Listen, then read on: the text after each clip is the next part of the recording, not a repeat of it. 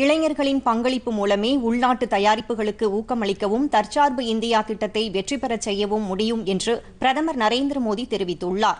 நாட்டின் எழுபத்தி இரண்டாவது குடியரசு தின விழா நாளை கொண்டாடப்படுகிறது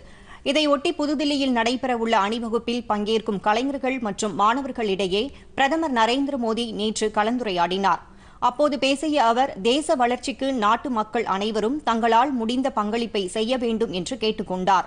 நமது நாட்டின் சமூக கலாச்சார பாரம்பரியத்தின் பெருமைகளையும் அவர் அப்போது எடுத்துரைத்தார்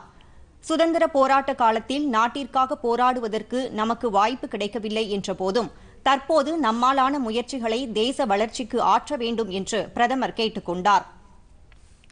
குடியரசு தின அணிவகுப்பில் பங்கேற்கும் போது மிடுக்கோடும் பெருமையோடும் முழு உத்வேகத்தோடும் மாணவர்கள் நடைபோட வேண்டும் என்று அவர் குறிப்பிட்டார் பல்வேறு மொழி உணவு கலாச்சாரம் கொண்ட போதும் வேற்றுமையில் ஒற்றுமை கொண்ட ஒரே நாடாக இந்தியா இருப்பதாக குறிப்பிட்ட பிரதமர் குடியரசு தின விழாவில் பங்கேற்க நாம் தயார் செய்து கொண்ட விதத்திலேயே நாட்டின் பன்முகத்தன்மையை அறிந்து கொள்ள முடியும் என்றார்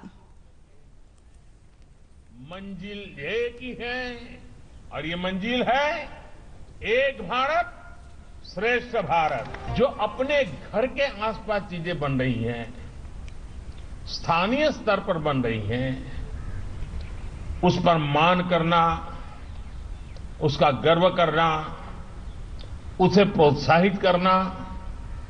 यही है वोकल फॉर लोकल लेकिन ये वोकल फॉर लोकल की भावना तब और मजबूत होगी जब इसे एक भारत श्रेष्ठ भारत की भावना से शक्ति मिलेगी